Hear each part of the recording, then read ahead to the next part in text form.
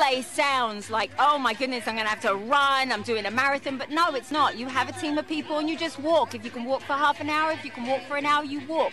We do it together. But it feels so good. So you just join a local team or create your own team.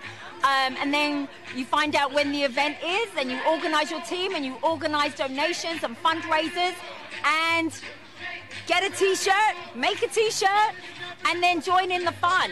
Um, it really is a great way to have a day out. Um, it's positive. We have kids' activities. We have lots of booths that are selling things. All goes to a great cause. All goes to the American Cancer Society.